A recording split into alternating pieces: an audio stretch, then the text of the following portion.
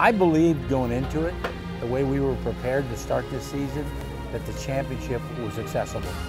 Championships are, are very tough to come by. Consistency is very key, uh, finishing races, making sure you, you consistently are on top of your game every weekend is, is very important. We've had a really good year. We kept plugging away race after race, and then it was, I guess, Detroit when we really sort of started to shine a little bit and show that we were really strong contenders for a championship run. It's going to take some luck. it's going to take some consistency. Again, it's going to be staying out of trouble. Oh, big incident! Unbelievable, that's a game changer. In championships, I mean, you're going to go through ups and downs. I mean, no season is going to be perfect. The competition level is tough. Good door-to-door, -door, close racing. It's been a lot of fun, you know, running with these guys this year. They're tough competitors, very talented young guys. They're the kind of drivers that I have respect for. I've won championships before the last race of the season. I've lost championships in the last race of the season.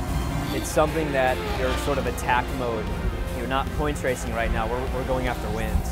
It's always great to get victories and to set fastest laps and all that, but we all strive to do this to be championship uh, winners.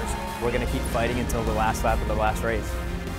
Could it be? Can it be? Could it, could it happen? You know, we've certainly worked hard enough for it. We've earned it. So if we do pull it off, I want you to know that we're going to feel like, yeah, we deserved it.